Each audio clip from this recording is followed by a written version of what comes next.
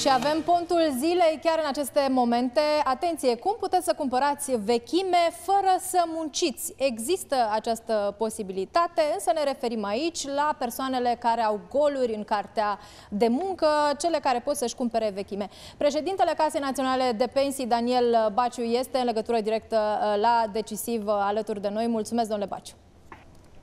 Haideți, Bună ziua, am pregătit și telespectatorilor dumneavoastră. Am pregătit, uh, domnule președinte, în Smart Desk chiar să vedem și cât ne costă să ne cumpărăm vechime în muncă. Uh, trebuie să plătim așa, 25% din salariul minim brut, da, care înseamnă 750 de lei. Dacă, de exemplu, am nevoie de un an, am un gol uh, în cartea de muncă de uh, un an, atunci o să plătesc 750 ori 12 luni, o să uh, rezulte 9000 de lei dacă vreau să umplu acest gol de un an din cartea de muncă.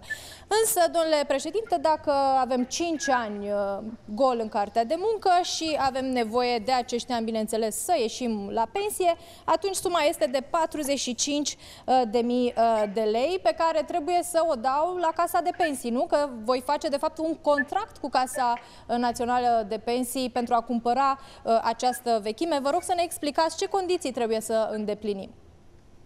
În primul rând, aș vrea să fac o precizare și o completare la promo pe care l-ați făcut dumneavoastră.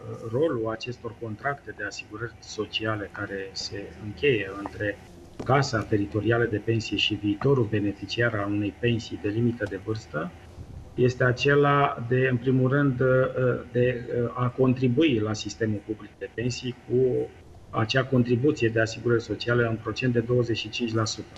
Deci rolul lor a fost pur și simplu ca nu să încurajeze nemunca, cum dumneavoastră văd că a spus pe ecran. Nu încurajăm uh, nemunca, domnule președinte, ci doar spunem cum poți să-ți da. acoperi niște goluri fără să muncești pentru acea perioadă, ci plătind pentru niște bani la casă de pensii. Se întărește principiul contributivității, pentru că pentru acei ani, cum a spus și dumneavoastră pe ecran, se contribuie dar, uh, practic, acele persoane care nu îndeplinesc condițiile pentru a aplica la o pensie, dacă nu își cumpără acest ani uh, de vechime retroactivă, nu îndeplineau deloc și nu puteau să beneficieze de nicio pensie. Vorbim de oameni care au un stagiu de cotizare de 12-13 ani și ajung la vârsta de pensionare și asta era singura modalitate pentru a putea beneficia de o pensie de limită de vârstă. De fapt, asta a fost menirea acestui act normativ și vorbim de ordonanța de urgență 163 pe 2020 pentru a ajuta acele persoane care nu au stagiu minim de cotizare prevăzut de lege pentru a putea să-și deschidă un drept de pensie. Dar, domnule președinte, dacă eu în aceste momente uh, vreau să îmi cumpăr vechime, nu știu, din uh, urmă, am doi ani goluri în cartea de muncă, pot să-mi cumpăr eu personal la această vârstă vechimea și să beneficiez la ieșirea la pensie? Uh, e această modalitate de care spuneți dumneavoastră este valabilă numai că atunci când îndeplinești condițiile de pensie pentru limită de vârstă. Deci eu ca tânăr, în Oricine. momentul ăsta, chiar dacă îmi lipsesc uh, niște ani, am niște goluri în cartea de muncă, nu pot să îmi cumpăr vechimea. Ba, puteți să vă cumpărați, dar să vă, veți beneficia de acești ani pe care îi cumpărați când veți îndeplini condițiile de pensionare la limită de vârstă. Foarte important și uh, e foarte importantă această precizare Dar, și pentru tine, domnule președinte. Că am avut un real succes pe, cu acest act normativ.